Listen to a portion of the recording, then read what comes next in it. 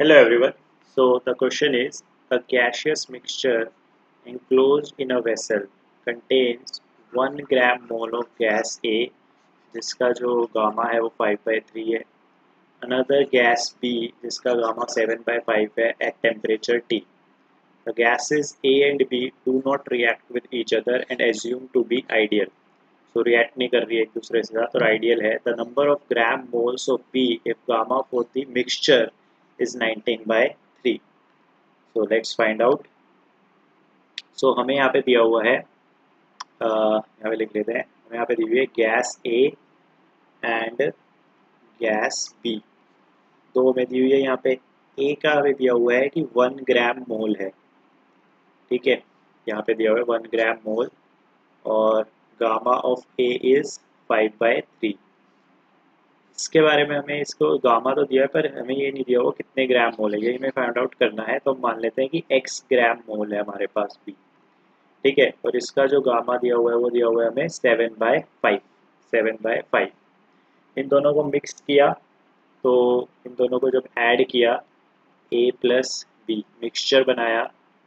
ठीक है? तो इस मिक्सचर का जो गामा दिया हुआ है, वो दिया हुआ है नाइनटीन बाय थर्टी ठीक है तो गामा में दिया हुआ है। क्या हम सी वी कैलकुलेट कर सकते हैं? ए का सी वी कितना होगा?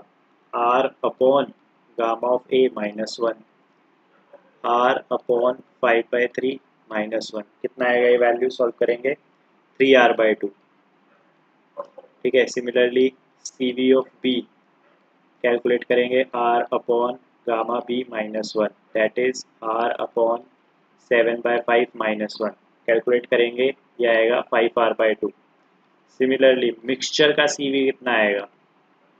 मिक्सचर का C V that is R upon gamma of mixture minus one value put करो इसमें आंसर आएगा थर्टीन आर बाय सिक्स तो सी वी हमने कैलकुलेट कर लिए तीनों के. ठीक है सी वी हमने क्यों कैलकुलेट किए? बिकॉज़ यहाँ पे देखो दिया हुआ है the gases A and B do not react with each other ठीक है that means as they are not reacting with each other तो जब मैं ऐड करूँगा सो इंटरनल एनर्जी कंजर्व रहेगी।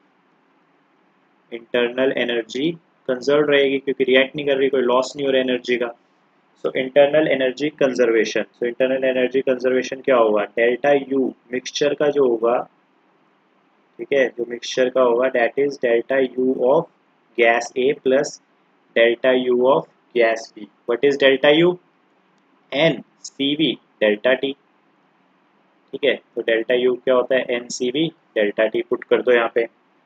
ठीक है? Number of moles of A plus number of moles of B into C V of mixture delta T is equal to number of moles of A V of A into delta T plus number of moles of B C V of B into delta T put these values ठीक है delta T cancel number of moles of A क्या लिखें? One plus x ठीक है into C V of mixture thirteen R by six is equal to number of moles of A one C V of A three R by two plus number of moles X into C V of B five R by two ठीक है, यहाँ से x की value solve करेंगे, ठीक है x की value आएगी आपके पास to solve this equation and we will get x is equal to 2 that is option number a is correct.